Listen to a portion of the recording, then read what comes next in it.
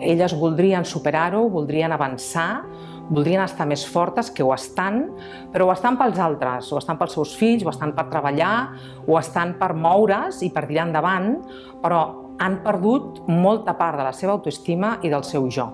La nostra feina és recuperar-les.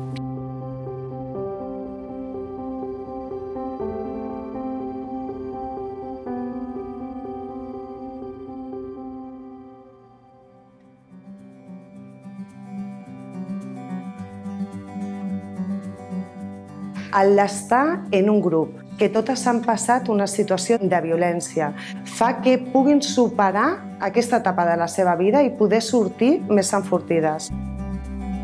Dóna la impressió de que estan desorientades, de que estan decebudes fins i tot de si mateixes, perquè els hi passen coses que elles no ho tenien previst. Llavors, poder treballar això durant gairebé 20 sessions continuades les apodera moltíssim i no volen caure en una altra situació com la que han viscut.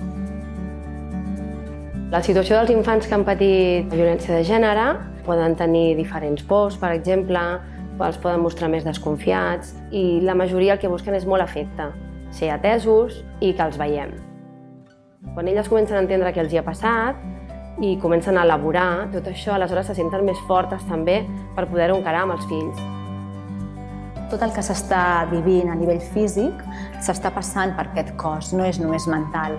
Aleshores, amb el treball amb grups de dones, amb dones que han patit violència de gènere, jo sempre dic que hi ha una tricotomia, és a dir, una part seria la que elles estan pensant, una altra la que estan actuant i una altra la que estan sentint.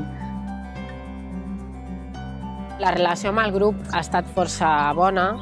Al principi una mica més complicat. Els problemes doncs, els veus d'una altra manera i veus que hi ha coses que també els hi passa més gent i que tu també ho pots superar.